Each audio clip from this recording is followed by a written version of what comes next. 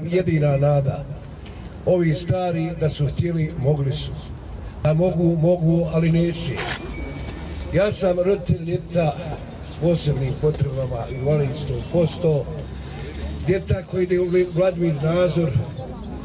Juče i danas ovdje nema nikoga iz centra. Mjedenica je bila tu, ima i danas. Govorim ovo zato što već šestu godinu nemamo direktora centra. Razlog tome je i ovo vezanje koje ste vidjeli.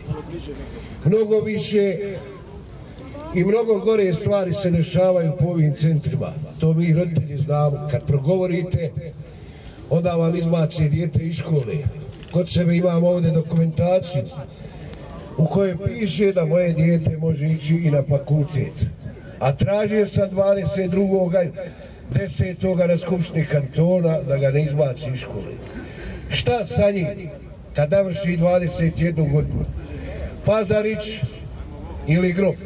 Šta sa nama, ili evo sad ja koji ima 61 godinu mogu umrijeti kad god hoću da umri kuda moje dijete.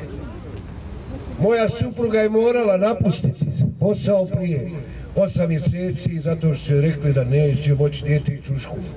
25 godina radnog staža napustila i neka je napustila. Imala je firmu koja je davala četiri sata da može raditi. I to je morala napustiti. U takvoj situaciji se nalazi svaki roditelj, svaka majka. Ovdje treba da znate da 80 od 100 roditelja su rastavljeni roditelji. Kod koga ostaje djeca? Kod majki koje nemaju nikva primanja, jer ona ne može raditi. Juče se ovdje dogodilo i ovih dana se događa situacija ova vlada je trebala da padne. Ne mora vlada padati, trebaju padati određeni ljudi, ali u ovo umješana politika. Direktor koji je danas, nažalost, i on je smijenjen. Zašto? Zato što je otkrio. Moji sugrađani, mi ne trebamo praviti ovakve proteste na ulici. Mi ovakve proteste trebamo, nažalost, praviti na izborima i ne birati ljude koji traži vlast.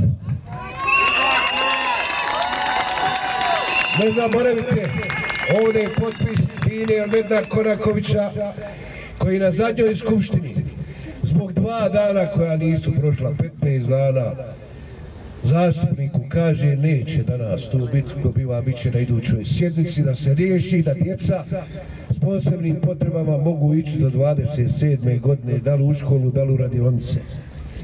Samo